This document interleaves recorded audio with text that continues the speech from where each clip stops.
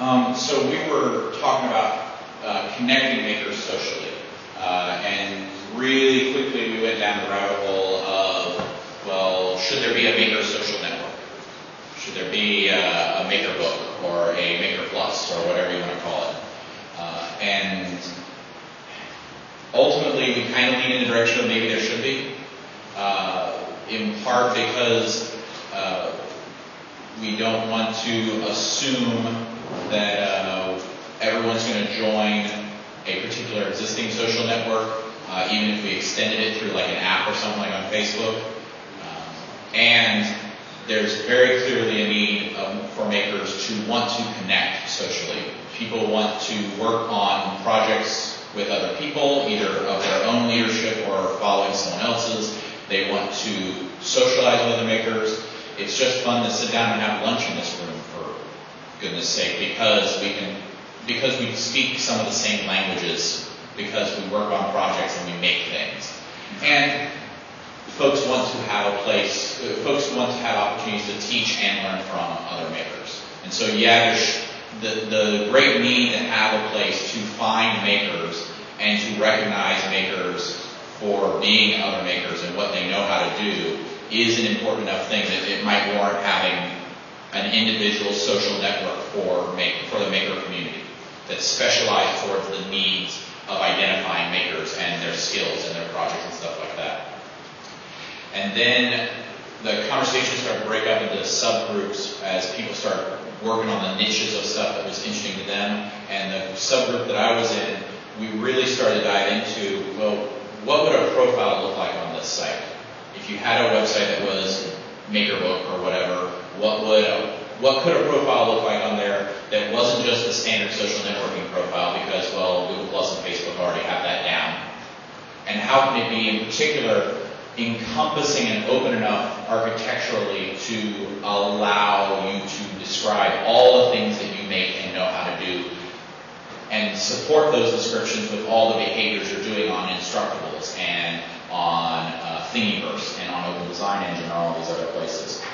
The, the kind of the first cut solution that we developed was this idea of well, yeah, you're going to have some generic profile information. Where am I on other social media outlets? Where am I physically in the world? How can you get a hold of, the, of me? Who am I? That kind of stuff. And then this idea of having uh, taggable badges. And I know badges is a dirty word for some people in this room, but hold on for a second.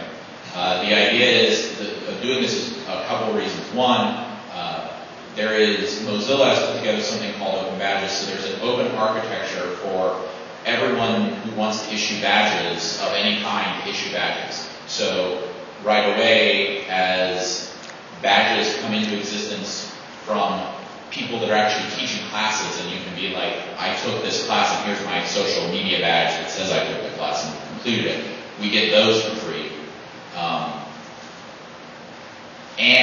we, the business with tagging was about uh, this idea that uh, I want to use badges as a way of uh, providing evidence that I know how to do a thing or I worked on a thing. So if I tag myself as soldering, I maybe tag, I maybe tag five badges as evidence of soldering, and then when you look up that I know the skill of soldering, you would then follow that tag down to here are five badges that say I know how to do soldering. And then the last piece was this idea of creating user-generated badges that are based on snippets of other websites. And this has, uh, uh, there was a, I can't remember his name because I'm terrible with names, but there was a gentleman at the table who, who proposed the idea of using snippets in general as a way of evidence of, of what you knew how to do. And the, the la- this last piece is the idea, well, embed snippets in badges so that they can sit next to third-party badges just as easily as any other kind of badge can. And when I say snippets, it's this idea like from Evernote and stuff where you can go and highlight a piece of a web page and be like, here's a forum post or an instructable or an answer on Stack Overflow or a project on Open Design Engine or anything like that and generate a badge from that that points back to that page so that that page becomes evidence. You can affiliate that page that documents what you did somewhere else in the badging system. Right? And then if you tag badges, and I can have badges that are both third party and ones that I generated from snippets of content, and all of them sit tagged as soldering or uh, aerodynamic analysis or what have you, that becomes a very easy and extensible and compelling way of doing self-based, evidence-based, self-generated evidence-based proof of a skill so that when people go searching for these skills, they can determine whether or not they're comfortable trusting that this person can do what they say they can do for when they want to include them on project work. And I think, does that sound like what we talked about? All right, and I know there were some other subgroups and I haven't heard what they worked on, so I apologize if I missed other really cool things that came on the table. Okay. So, uh, how do you plan to move forward in the afternoon? Um, I have to lead. I have to lead a session at two, so I don't. And I'm still trying to capture all that in minutes.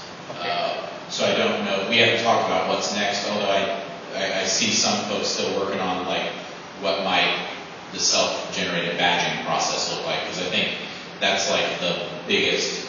I think there are three big cruxes to moving forward with this idea. One is where would you stand up this profile? Is there an existing piece of software that you would use as the foundation of creating a social network like this that you would make profiles like this and extend what their profiles look like?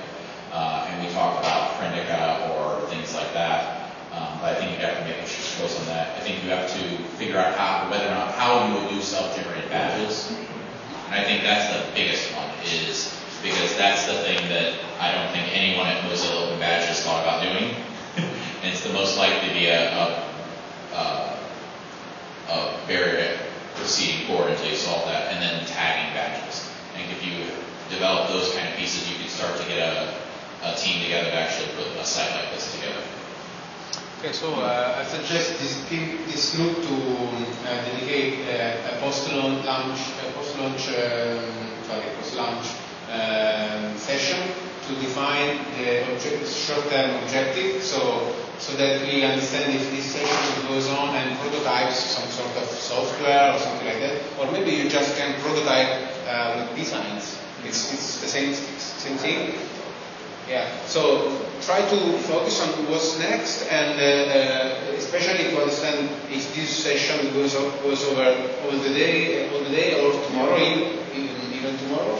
Uh, and once you have understand uh, understood this, let's chat, and I will manage to Yep. the planning. So your your session starting at six. Uh, I've got two and a six, so I don't know what's going to happen yet. I got. I want to finish collecting Yeah. what we've. I want to finish documenting what we've done, and then we'll figure out where to go forward. There's no need to uh, get stuck in this uh, agenda, so we can Yep. change it, no Yep. problem. But uh, I encourage you to uh, try to understand what's going on uh, next. Yeah, absolutely. So thanks very much. Uh, it sounds uh, really exciting what you're what you're doing, guys. So uh, let's have fi- finish to lunch, and uh, I will be um, going through the tables after lunch to to make this sort of uh, status, and uh, so that I can update the agenda and maybe uh, if some of, some of you is uh, no more interested in what's going on in the session, I encourage you to kick off another session. We have some session proposals still on the wall. So if you feel that you want to start start working on a new session,